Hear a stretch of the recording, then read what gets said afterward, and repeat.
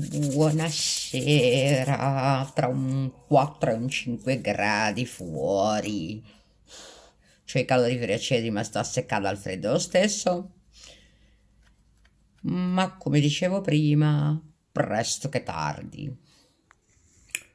Lady Ghost, Lady Slaco, Lady Nastrino, Lady Kitsune, ormai ribattezzate il mio harem spiritico, salutano un altro Chuck si evoca un po' più leggero, un po' più carino. Lo trovate con tutti i sottotitoli in italiano su Rakuten Wiki e lo trovate sotto al titolo in inglese di New Life Begins. Di cosa parla? Nove stati della Cina antica hanno stabilito dei patti di reciproco aiuto e di non belligeranza, ovvero di non guerra tra di loro. Questi nove stati sono capitanati dallo stato più potente a livello di armistizio, a livello di moneta sonante, quindi di guadagno di oro e di forza militare il regno di Xin. I regni ve li nomino in italiano, altrimenti non si capirebbe la differenza. Il regno di Xin è il regno che mantiene l'ordine tra i nove. E dai tempi in cui i nove regni vennero riuniti gli uni con gli altri, c'è l'usanza di mantenere i buoni rapporti tra stati facendo dei veri e propri concorsi tra le figlie dei vari ministeri o dei vari reggenti dei vari stati da dare in sposa, da dare in moglie ai vari principi del regno di Xin o nel caso di figlie femmine del regno di Xin, darle in sposa ai principi degli altri paesi. Questi paesi, seppur siano tutti collegati da patti appunto di non belligeranza, da patti di aiuto reciproco e di pace all'interno di essi, hanno le gestioni dei loro regni estremamente diversi gli uni dagli altri. In particolare, lo stato di Jin è uno stato di natura rurale. Sono quasi tutti coltivatori, non sono ricchi, ma forniscono anche agli altri stati i beni di prima necessità, ovvero le coltivazioni. Lo stato di Dan è uno stato di natura matriarcale. Lì sono le donne al potere e gli uomini stanno a casa e servono le loro mogli. Anche lì ci sono gli harem, ma gli harem sono fatti di mariti, mentre la moglie è univoca. L'esercito è femminile le cariche di Stato sono femminili e il tutto si svolge in questo ambiente nel quale la donna comanda e l'uomo ubbidisce. Lo Stato di Mo. Lo Stato di Mo è forse il più gretto a livello eh, di rapporti interpersonali. Sono molto rudi, sono popoli nomadi seppur viaggino all'interno della loro stessa nazione senza uscirne, ma hanno una concezione della gestione sociale in cui vige la legge del più forte. Non importa che sia donna o che sia uomo, non importa la sua estrazione sociale, seppur ci siano dei capi che regolano le varie tribù, L'importante è che sia forte.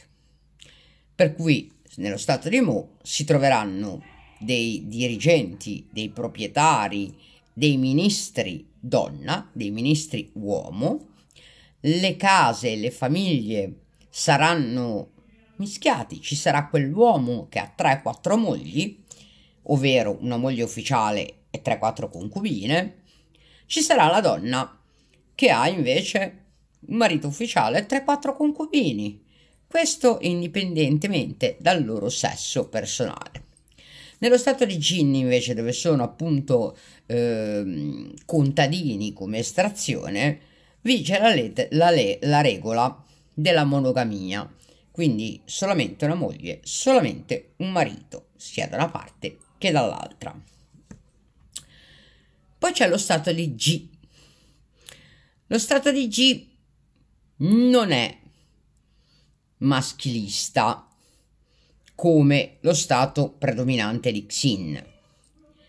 È uno stato estremamente dedito al commercio, tanto che se la gioca con Xin, anzi a volte in certi frangenti risulta essere anche più ricco e sicuramente più capace per quanto riguarda proprio il commercio.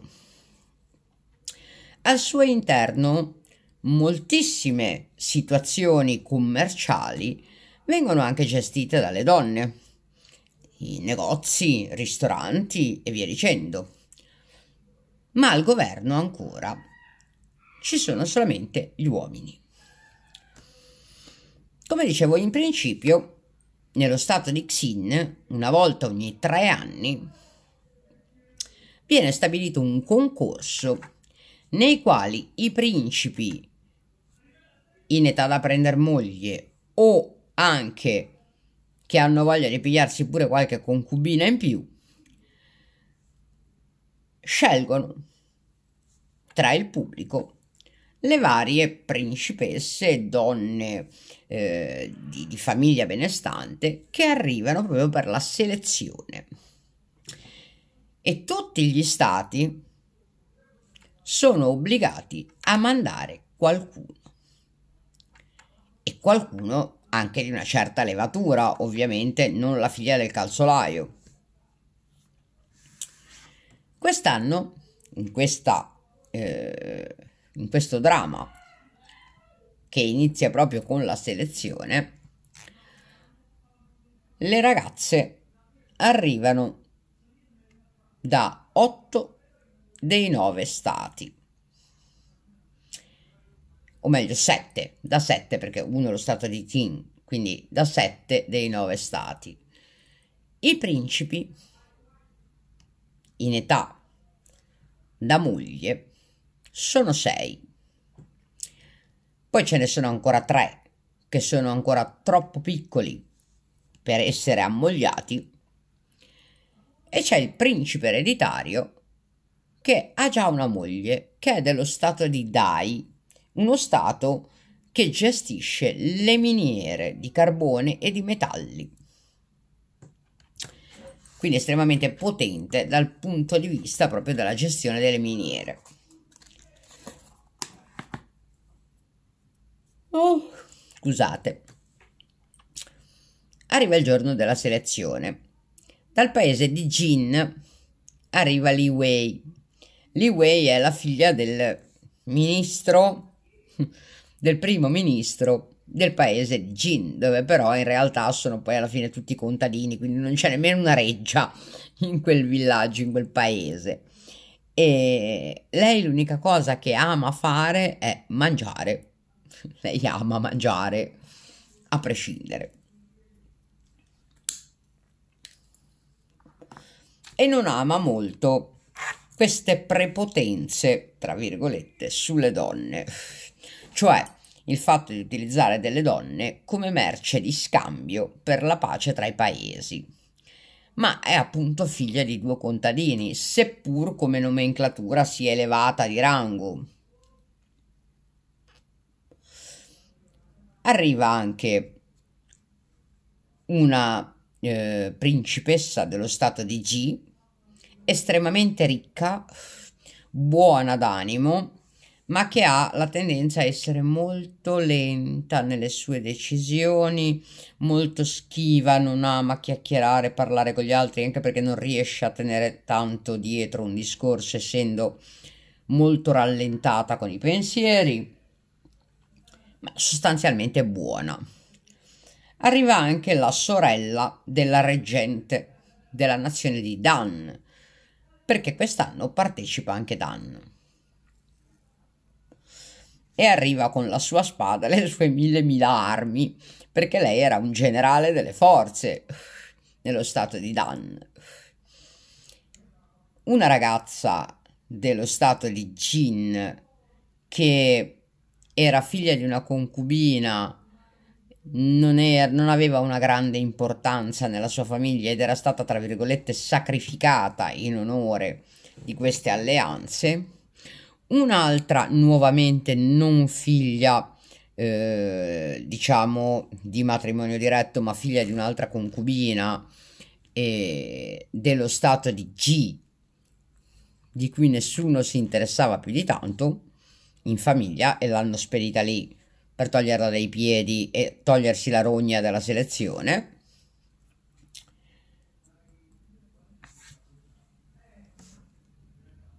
Insomma, inizia la selezione. Ali Wei, che poi è la protagonista, non la vuole nessuno perché è una campagnola. Non si tiene granché, non gliene frega molto dell'estetica, delle cose varie.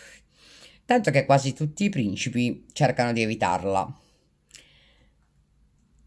Al contrario, Ao Yi, che sarebbe la ragazza che arrivava da G sacrificata perché figlia di una concubina, decide che, visto che comunque eh, la sua vita dipenderà da, dal marito, da un uomo, farà di tutto per cercare di diventare anche solo una concubina, ma del principe ereditario.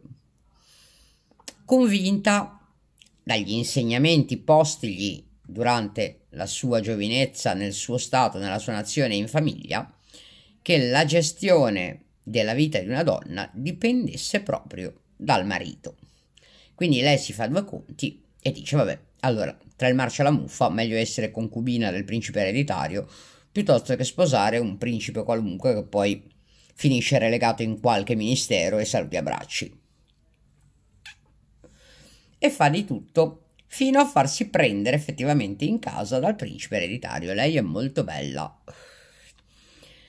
ci saranno un sacco di sotterfugi e di lotte di potere perché ovviamente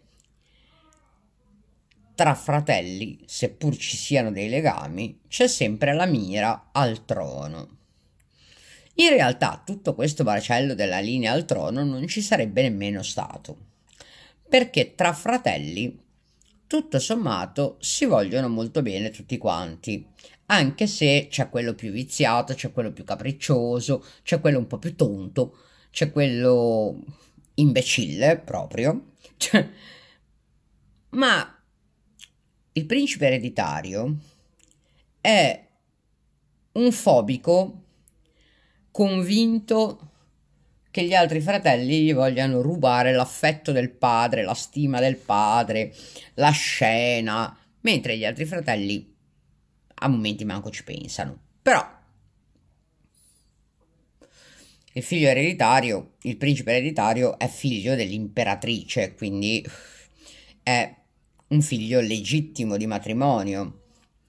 E c'è anche il decimo principe che è un principe di nuovo legittimo, figlio dell'imperatrice, che è snob, imbecille, per fortuna ancora troppo giovane, che cerca disperatamente di avere una moglie, ma nessuna vuole stare con lui perché è un montato di merda. Il principe ereditario è il secondo figlio, perché il primo, il più grande, figlio di una concubina, aveva già una moglie e due o tre figli e aveva deciso di seguire la carriera militare, quindi di togliersi dalla corte e da tutto e andare a pattugliare la frontiera con lo stato di Mo, dove erano molto più liberali, più tranquilli, si beveva, si giocava a carte, non gliene fregava niente a nessuno. E viveva in santa pace per i cavolacci suoi, senza starsi a impicciare nelle lotte di potere. Ma appunto il principe ereditario, ovvero il secondo principe, è maniacale, ha sempre il terrore che tutti vogliano rubargli la scena. Il quarto principe è il suo tirapiedi, è uno che non ha tanta spina dorsale, figlio anche lui di una concubina e quindi in parte un po' screditato rispetto al figlio ufficiale, fa la tirapiedi al principe ereditario proprio nella speranza di ottenere qualche risultatino in più nella sua esistenza. La moglie, ovvero la ragazza che lo sceglie, anche lei, figlia di secondo letto del padre che è un ministro del paese di Da, ha qualche mira e spera di riuscire a far star bene il marito. Ha scelto lui proprio perché le ricordava tanto se stessa. Figlia di concubina e in parte lasciata sempre in un angolo dai figli legittimi della sua famiglia, fino a poi a essere tranquillamente mandata in sacrificio come matrimonio di convenienza per la pace, chi se ne frega.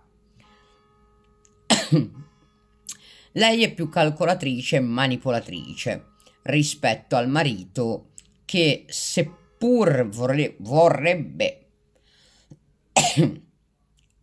salire qualche gradino, non ha grandi idee, non è molto geniale, è abbastanza nello standard medio. Non è cattivo, ma estremamente interessato. Il terzo fratello è un imbecille, se ce n'è uno.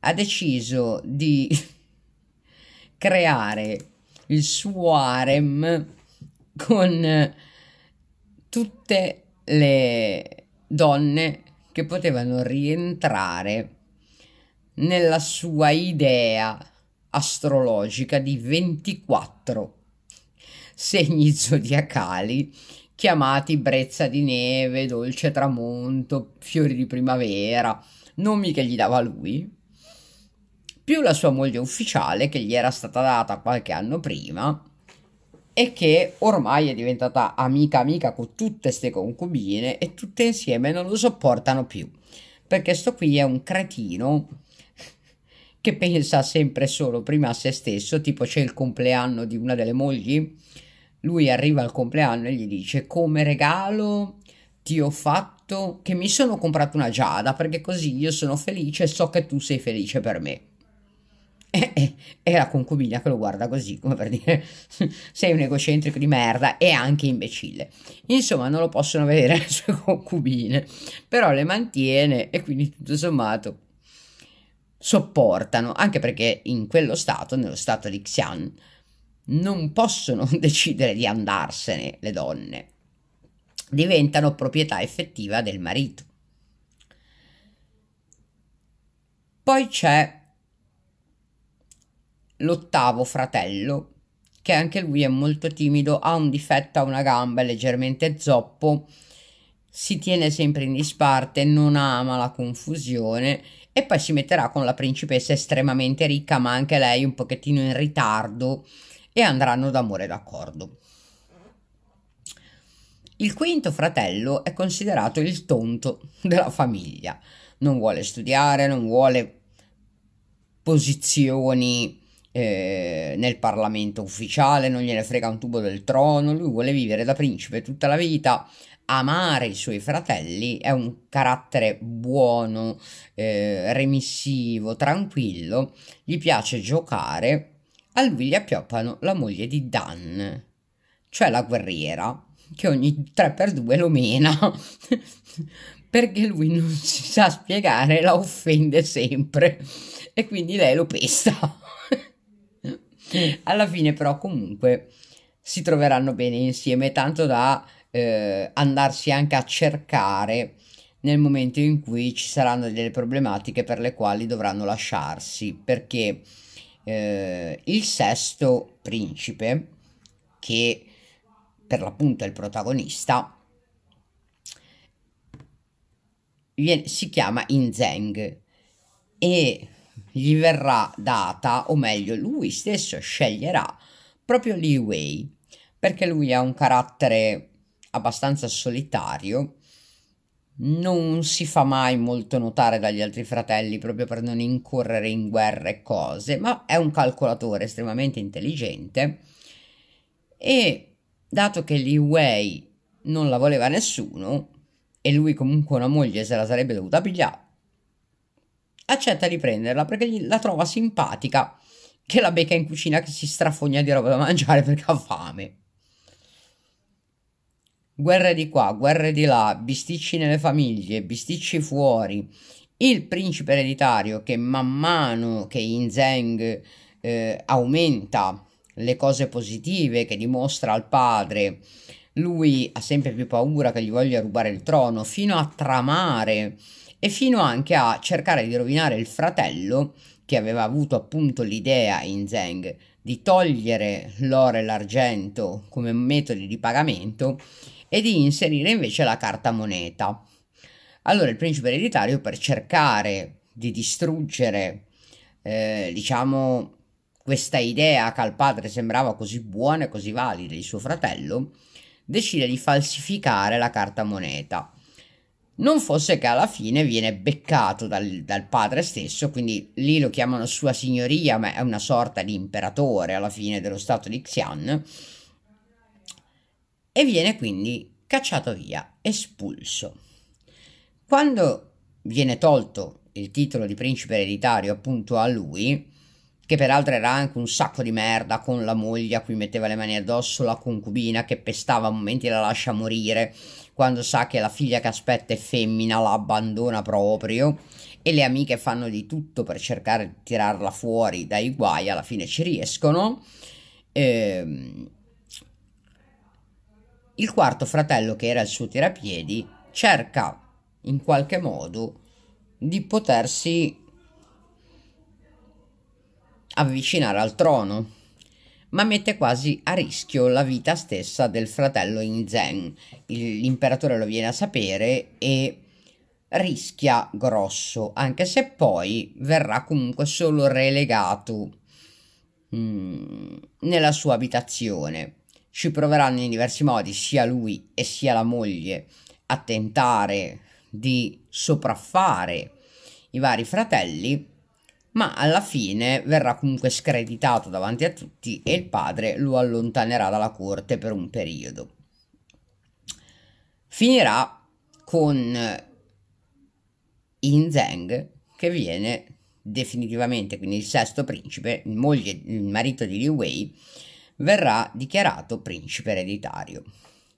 Li Wei nel frattempo, con tutte le amiche che si è fatta, quindi con la ex concubina del principe ereditario che quando viene cacciato via dal regno torna libera con la sua bambina. E anche la moglie del principe ereditario che in principio era molto ostile nei confronti della concubina alla fine ci diventa amica. Eh, la principessa di Dan quindi la guerriera che cerca sempre di dare importanza alle donne e non riesce a concepire che in uno stato come Xin siano gli uomini a comandare, da loro comandano le donne. E instaureranno l'inizio della libertà proprio, anche di lavorare e di gestire centri commerciali e quant'altro, anche un'intera camera del commercio proprio per le donne di Xin.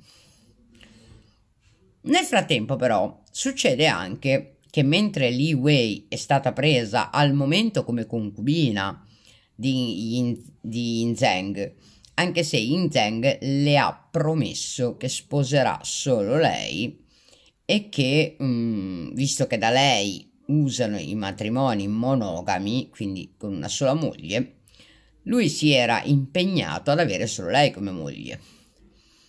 Ma succede che la principessa del regno di Jin deve essere maritata e il regnante del, del regno di Jin, avendo conosciuto il sesto principe in una missione diplomatica, chiede all'imperatore di Xin di fargli sposare proprio in Zen. All'inizio sono crisi e pianti perché Li Wei eh, se la prende, dice mi avevi promesso che sarei stata solo io, invece adesso pigli già un'altra moglie, io divento di nuovo concubina, da noi così non usa, allora lasciami libera, dammi il patto di andarmene, mi firmi il documento, io me ne vado, me ne torno a casa, saluti e abbracci. Ma Inzeng non ci può fare niente, è costretto dal padre a prendere questa principessa di Jin. Fortunatamente però, quando la principessa di Jin arriva alla residenza dopo il matrimonio e tutto, acchiappa In Zeng e gli dice senti, io te dobbiamo parlare. Questo matrimonio non l'hai voluto tu e non l'ho voluto manco io. Io vorrei fare la diplomatica politica, ma mio padre è ancora convinto che le donne dovrebbero stare a casa e quindi per ora ha combinato questa cosa. Facciamo una bella cosa, io ti do una mano ad avvicinarti a una carica importante e tu poi in cambio, quando si sono calmate le acque, mi dai il documento di divorzio, io porto via le chiappe e me ne torno a casa mia. A Inzeng non gli sembra vero, è felicissimo. Ne parlano anche con Li Wei e Li Wei capisce che comunque non era colpa di Inzeng, non è che lui ha voluto prendere un'altra moglie ma gliel'ha appioppata il padre, peraltro come moglie ufficiale perché era una principessa. Insomma, diventano amiche e nel frattempo la principessa di, di Jin insegna anche a Li Wei come si gestisce sia una casa sia un negozio e quant'altro. Tra l'altro, il terzo principe, quello scemo che ha 27 mogli,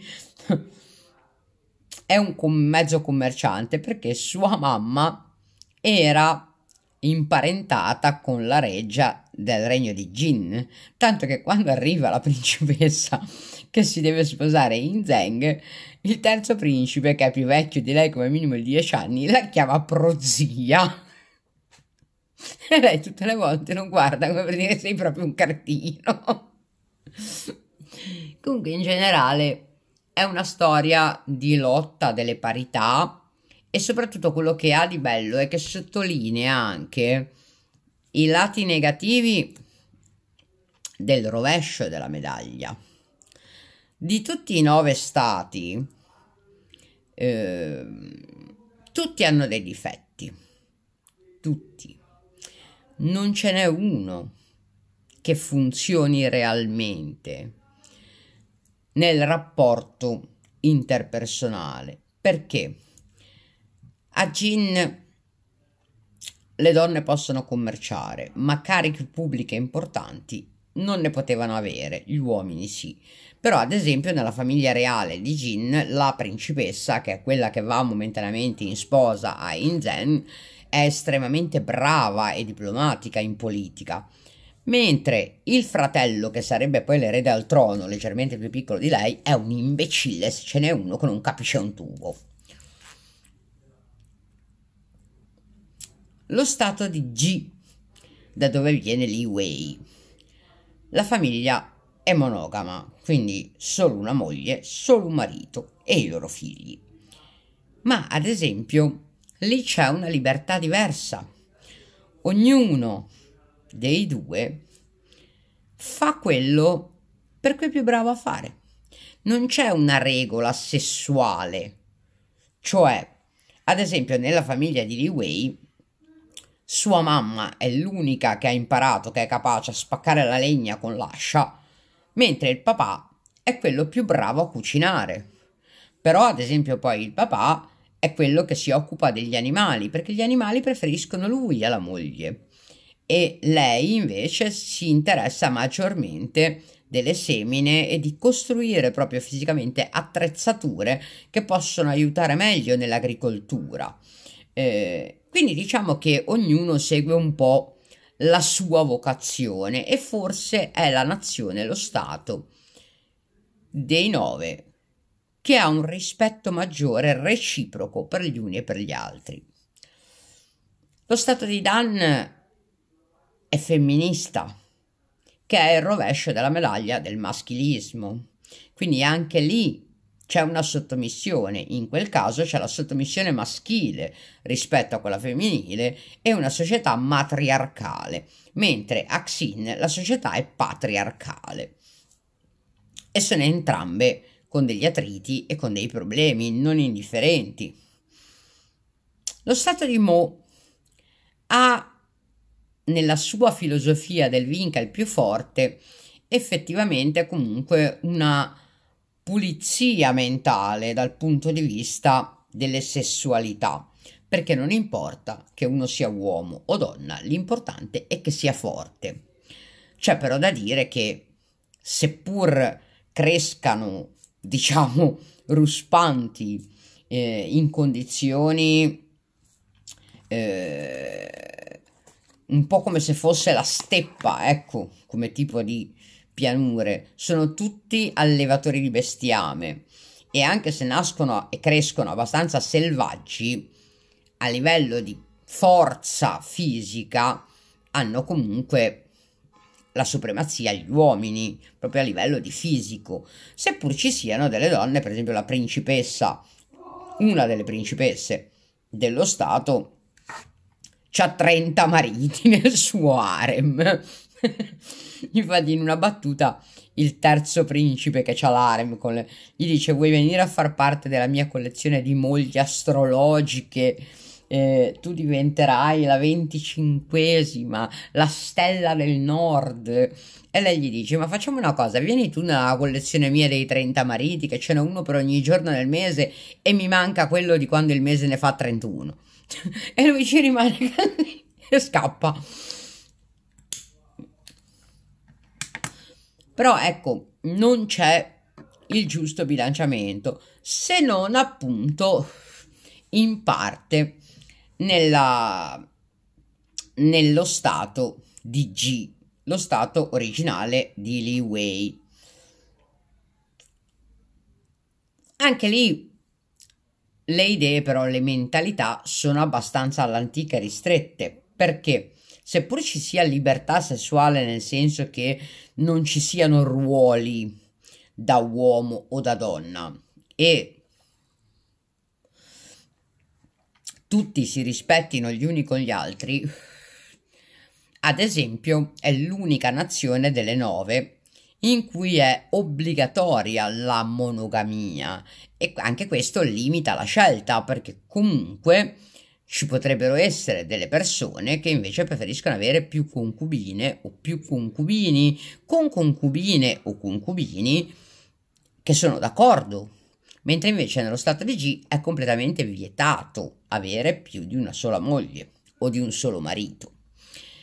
Eh, sono molto all'antica per quanto riguarda certe ideologie, ad esempio se la figlia e il genero vanno a trovare eh, i genitori a G non possono dormire insieme, anche se sono sposati. Lui deve dormire col suocero, per esempio, e lei con la mamma o lei con la suocera e lui col padre.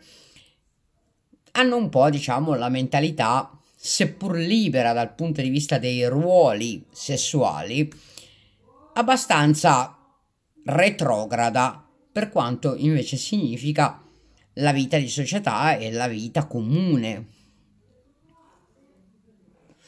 Finirà appunto comunque bene, perché tra un dramma e l'altro, perché ad esempio il quinto principe, che è quello più tontolone, verrà tra virgolette sacrificato dal padre, quindi gli verrà tolto il titolo e tutto per salvare la faccia del sesto che vuole far diventare erede e il tonto, nonostante è tonto, capisce che il padre ha sacrificato un figlio in sua...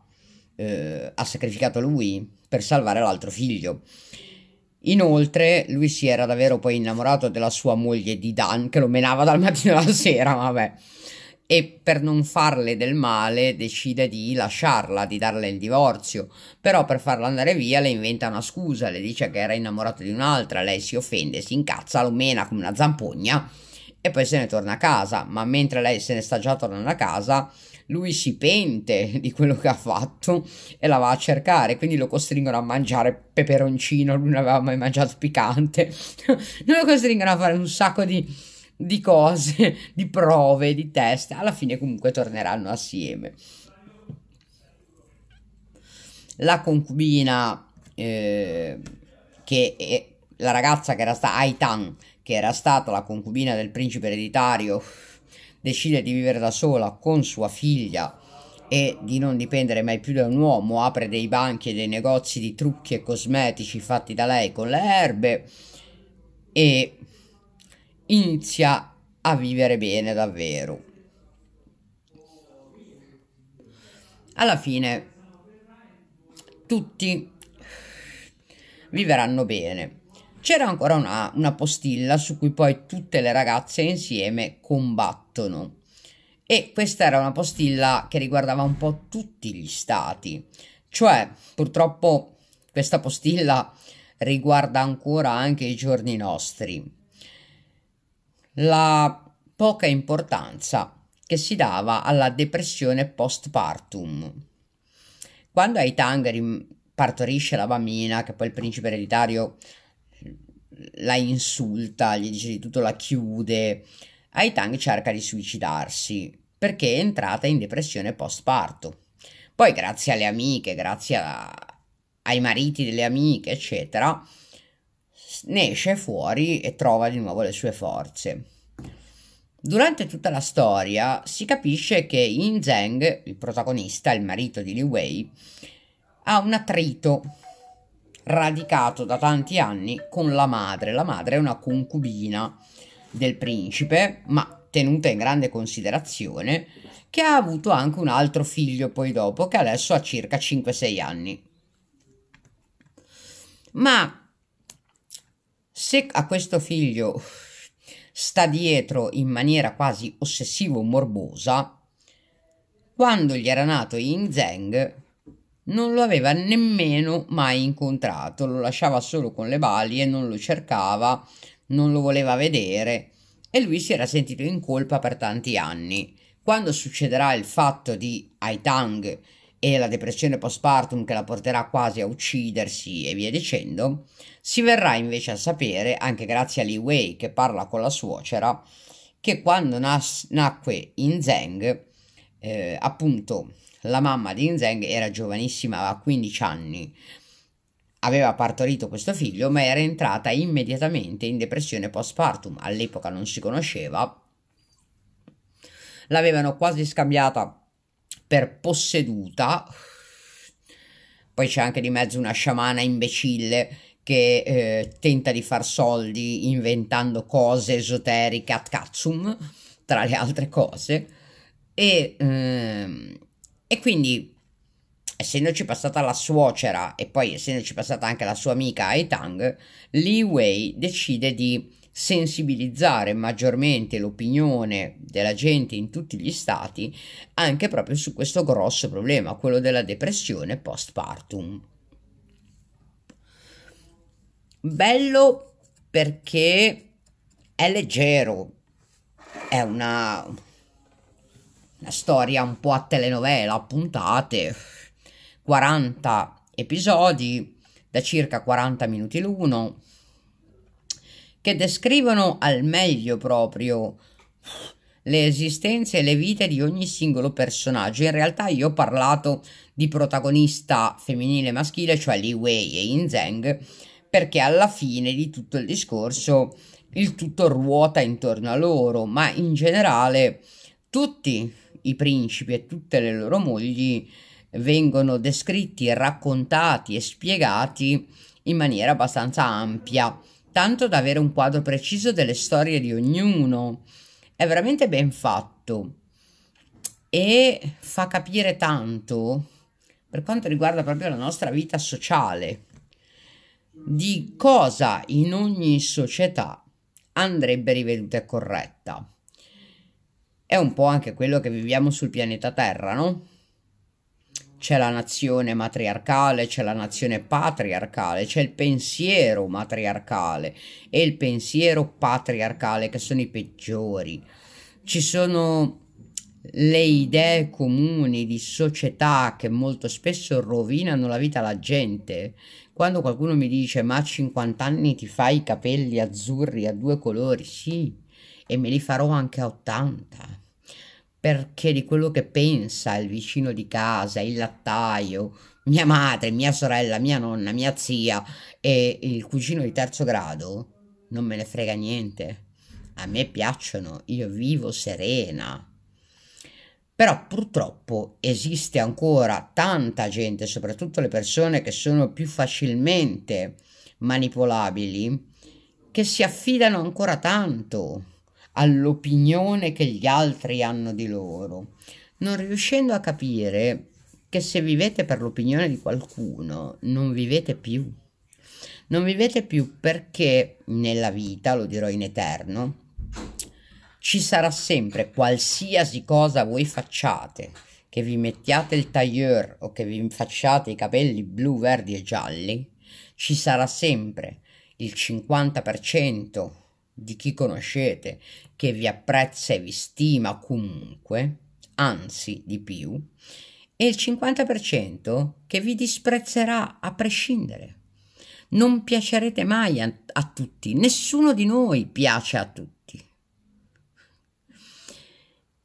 Nel momento in cui una persona comprende che non gliene frega un cavolo di piacere agli altri, ha vinto tutto.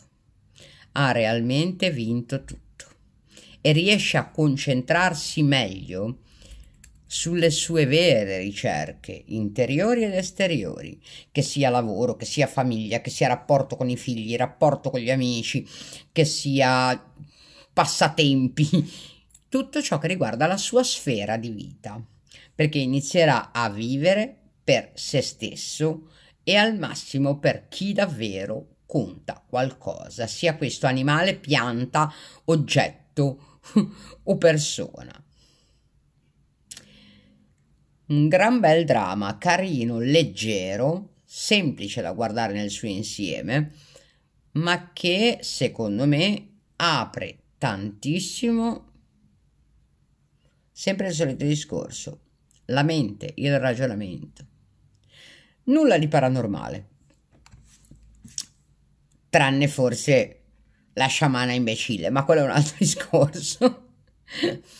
ma secondo me, quando uno impara a ragionare, non impara a ragionare solo sul paranormale, impara a ragionare su tutto ciò che lo circonda, perché il visibile e l'invisibile si mescolano, fanno parte della stessa nostra realtà di tutti.